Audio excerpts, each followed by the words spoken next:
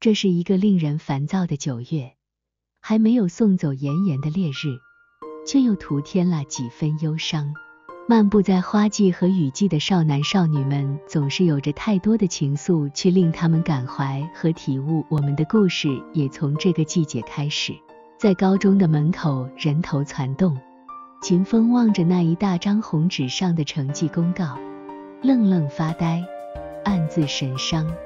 很幸运，他以仅高出录取线三分的成绩考上了高中，但在自己看来，这更是悲哀。因为在被这所学校录取的那一刻，就已注定将失去人生中的第一次恋情。那女孩叫芳芳，去了另一座城市的另一所高中，是省重点，非她所愿，只怪世事弄人。于是接下来的日子开始沉默，丢失了曾经的开朗与幽默，开始习惯忧伤与孤独。秦风的心很痛。在痛得无法承受时，便去用酒精暂时自我麻痹。虽然这样徒劳，但别无选择。时间一天天的流逝，依旧沉浸于淡淡的忧伤之中。但他身边却频频会出现另一个女孩的身影。那女孩叫梅浩，没人记得这一切是何时开始的，即便秦风也不清楚。这一切仿佛就在潜移默化中发生着。梅浩很善良，也很善解人意。他总是在秦风无助时去开导他，在孤单时陪伴他，甚至还会偶尔陪秦风喝上几杯以表同情。那段日子，他们都很自然，就像一对相识已久的老友。但好景不长，青春洋溢的季节总是敏感。于是身边开始出现流言蜚语，而且很快在班级蔓延开来。秦风有属于他的坚持，芳芳也有属于他的骄傲。于是原本的和谐打破，开始刻意的疏远对方，或者说是一种对内心的逃避。在那段日子里，秦风又开始沉默，但却不知因何而起。芳芳依旧快乐的像个孩子，可那眼底分明有着几缕难以捉摸的朦胧。时间不会因谁而停滞，日出日落，寒暑交替，一切都平静且忙碌的进行着。唯有秦风和芳芳依旧形同陌路，而这一切只源于彼此心中那份虚荣。生活总是充满着太多的意外。有些意外也巧合的成了一份契机。芳芳总是笨手笨脚，就在一次打水的过程中，不小心被滚烫的开水烫伤了脚面，水泡鼓得老高。芳芳很坚强，没有流泪。可秦风看着女孩的伤势，心中变得莫名的痛，终于不顾一切，主动打破了已久的僵局。主动送去了在家中带来的专治烫伤的药膏。芳芳看着秦风急切的样子和手中的药，没有言语，只是莞尔一笑。但彼此心中都明白，那种久违的感觉终于又回来了。就这样，芳芳的脚慢慢的好了，她和男孩的日子又恢复了往日的宁静和快乐。但秦风心中却不再像当初那样坦荡，总觉得似乎心底压了点什么，很难透过气来。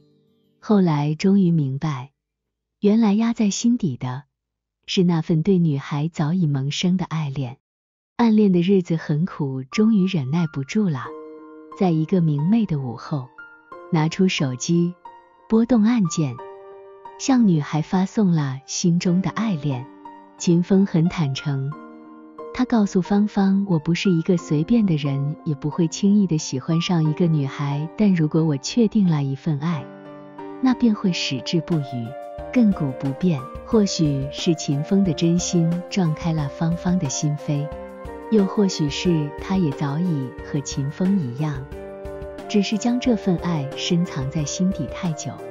总之，芳芳流着泪答应了男孩。于是他们相恋了，像所有沉寂在爱河中的少男少女一样。他们在自己的世界中总认为自己会是最幸福的那一对儿，事实也确实如此。秦风履行着每一句诺言，对芳芳无微不至，呵护有加。芳芳也像个贤惠的妻子一般，照顾着秦风的点点滴滴，包容着秦风的一切。那段日子很幸福，甚至幸福的令身边的人都会嫉妒。他们会发信息到彻夜不眠，会因为小别而思念彼此到泪流满面。他们总之，他们之间演绎着所有情侣间该有的浪漫。时间如洗，岁月如梭。平静而快乐的日子总是会被无意间打乱。秦风的家里决定让他放弃大学，而且帮他找好了出路。秦风很挣扎，因为大学一直是他的梦。但生活在单亲家庭的秦风体会得出母亲的难处，不想让母亲为难，于是只好点头答应离开校园，他乡远方。舍不下的就是那份对芳芳割舍不下的爱恋。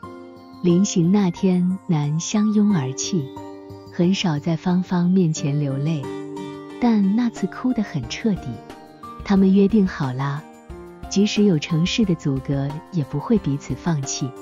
那时候都相信一个词，叫做永远。思念与不舍，终究没有阻止事情的发展。秦风走了。踏上了远方的征程，带着对芳芳的爱和一颗孤独的心，奔向了未知的世界。在出发的火车上，秦风躲在角落，无助地流着思念的泪。在外面的日子并没有当初设想的那般美好，一切变化的太快。每当忍不住寂寞时，便翻开临行时与他合拍的一册相片，一页页的抚摸。仿佛想抚平心中那难以言表的思念，但一切终是徒然，还是忍不住泪流满面。分离的日子，电话成了他们可以抓住的一根稻草。秦风在电话中讲述着外面的繁华与美好，芳芳也表达着心底对男孩的眷恋。直到芳芳的情绪不再平静，哭得难以言语。日子仍旧向前挪动，在无数个夜，秦风不眠不休，在无数个梦中泪眼朦胧。但秦风是理智的，他开始思考：芳芳还在上学，将将来还要高考，这样下去或许会因为自己的自私而毁了女孩一辈子的幸福。终于忍着心痛，向女孩提出了分手，下定了决心。无论芳芳怎样请求，秦风仍是冷面绝情。只有自己心中明白，那一刻心中有多痛，只在心中默念着：“我的宝贝，原谅我的无情。总有一天要让你成为我红地毯上最美的新娘。”本以为自己的绝情会让芳芳远去，然后专心学习，令他没想到的是，芳芳仍旧不肯死心。情况似乎比以前更糟，秦风开始无奈。或许，只有真正让他死心，才会挽救他的学业吧。于是，秦风背弃了自己的灵魂，交往了另一个他并不爱的女孩。而这一切，只是为了让芳芳彻底的死心。终于，这一切似乎起了作用，芳芳开始渐渐放手。至少表面不再苦苦纠缠。那一刻，秦风的心很痛，但魏芳芳认为这一切都很值得。不久，秦风和那个并不爱的女孩分手了，理由是无法说服自己去亲吻她的双唇。一切本该到此告一段落，但当芳芳得知秦风分手的消息后，仿佛又看到了希望。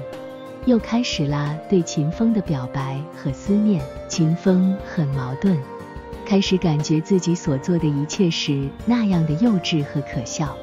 可是已至此，他也只能忍住心中的伤痛，一次次的回绝芳芳，伤害芳芳。可谁又知道这决绝的背后，付出了秦风多大的期望与伤痛？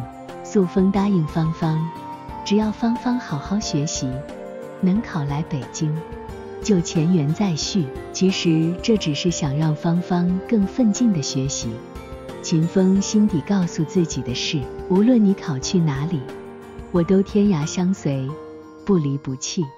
芳芳在学校单调而忧伤的学习着，但学习成绩并没有提高多少。秦风很不满意，于是经常在电话里责备女孩不用功、不上进。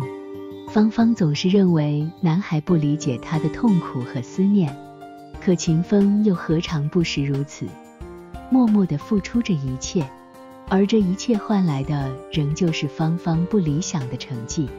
虽然此刻已经完全明白自己所做的一切都是枉然，但事已至此。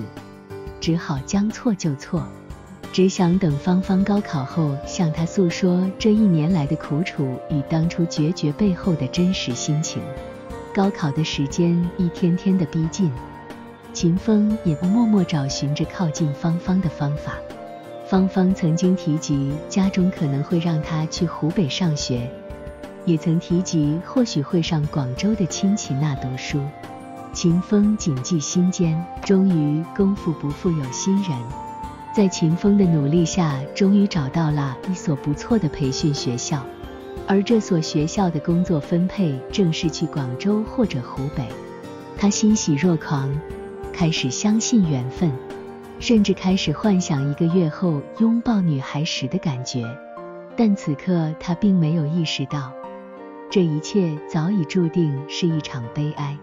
当他把学校事情排妥当，确定万无一失时，他准备告诉芳芳这个喜讯，可接连几次电话都是无人接听，偶尔打通也是简单几句就挂断了电话。秦风开始疑惑，这到底是怎么了？终于上天和他开了一个天大的玩笑，就当一切阴霾即将散去。就当以为芳芳就将出现在眼前的时候，芳芳在 QQ 上发来了信息。芳芳告诉他又恋爱了，并且告诉秦风现在的男友对她很好。呆呆的望着屏幕，每一个字都深深的刺痛着秦风的内心。短暂的呆滞后，男孩开始发狂，他疯狂的揪扯着自己的头发，用力的捶打着自己的胸膛。为什么？为什么？心底不断回响着一个声音，这到底是为什么？流着泪，漫无目的的穿行在人潮流动的大街。